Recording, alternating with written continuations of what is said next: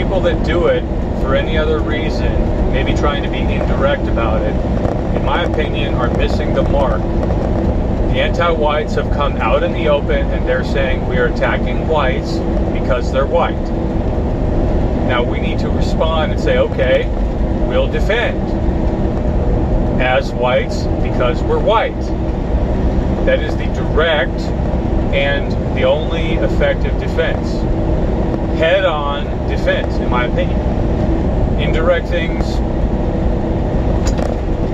are not as effective if they're in the anti-white narrative. So,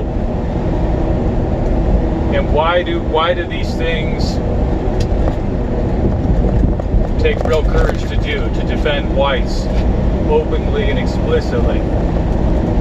Because, as we all know, whites are truly being attacked entire society at large, the entire media, every institution worldwide.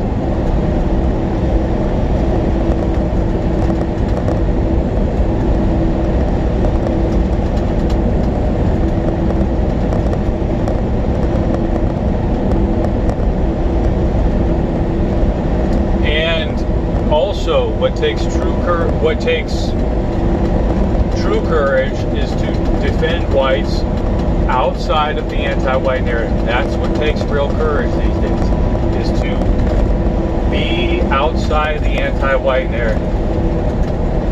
That's the really courageous thing. Because that defends whites effectively. Effectively. It makes us the good the good guys.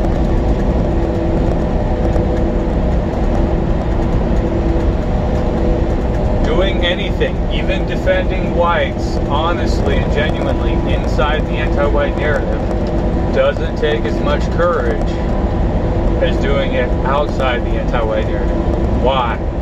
The anti because the anti-white narrative is defeated, so it is not really much of a threat to the anti-whites.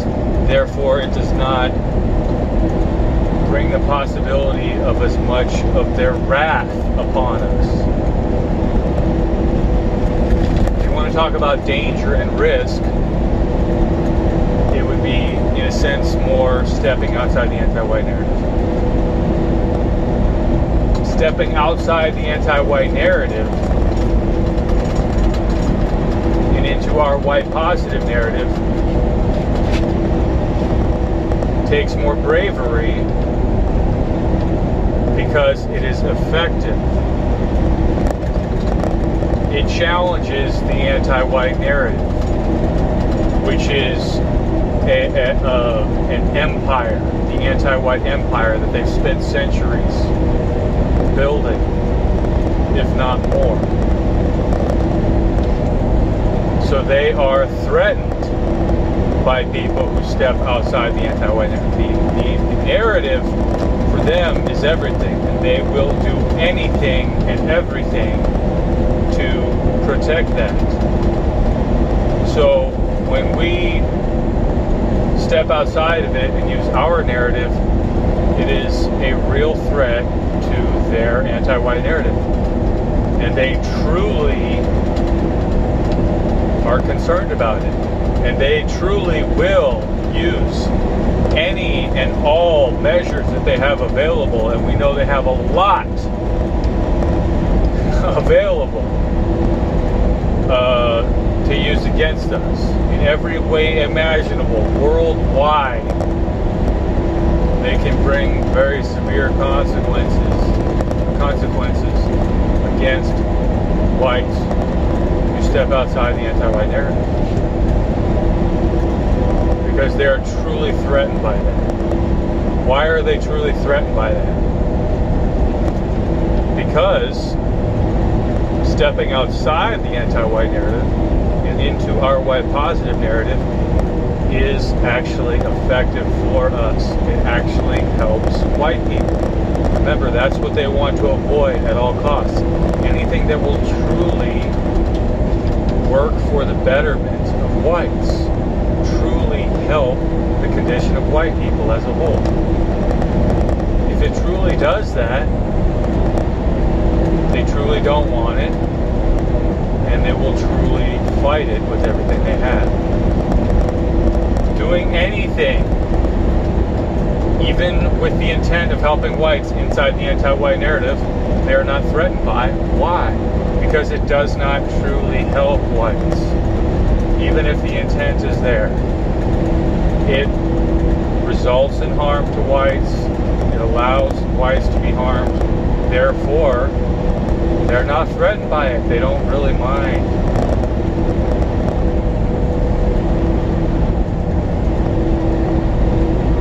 So it's not truly the rebellious thing to do. Doing something that is truly rebellious, truly defiant, truly courageous, as we all know, is stepping outside of the anti white narrative, defending whites effectively with our white positive narrative. Truly helping the well being of whites. That is what takes real and true bravery and courage. You know, if, if this guy with a Confederate flag would have had a flag that said no white guilt on it, like I'd put up on the truck at that truck stop before, that would be truly brave. That would be truly going against the the anti-white system. That would be truly helping white people.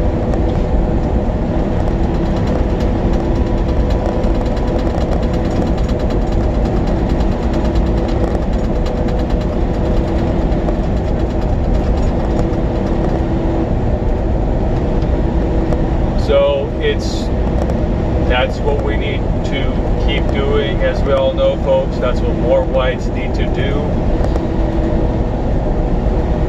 And we are trying to get as many as possible to join our ranks and help in the cause. Um, and so let's continue doing that, folks. Let's keep up the good work let's continue doing things that are effective for white people that actually actually help whites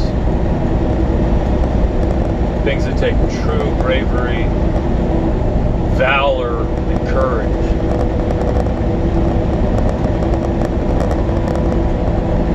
Things that are truly revolutionary. Things that are truly making a difference for the better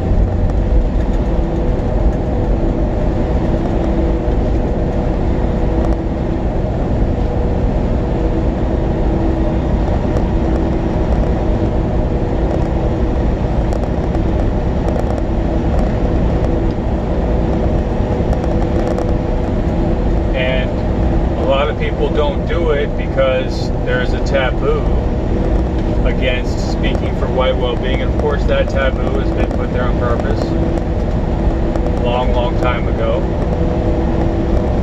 That is why whites feel uncomfortable doing it. But this is the taboo that we have to break. We have to break this taboo wide open and just decimate it and continue moving into territory where it's where people feel more and more comfortable expressing love for white people, supporting white people, and helping the well-being of white people. We have to continue letting people know that it's okay. That it's the best thing we can possibly do as whites.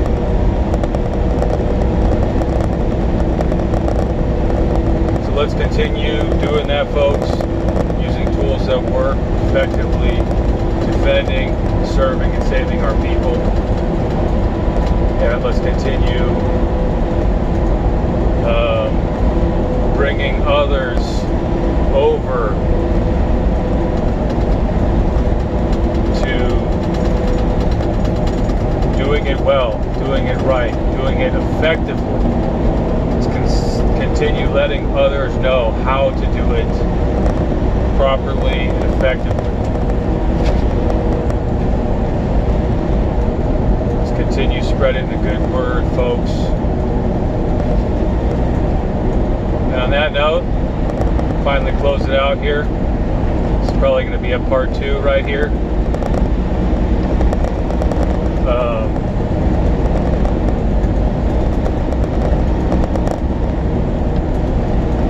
so I love y'all. God bless each and every one. Stay strong, stay white proud, white protective, and white free.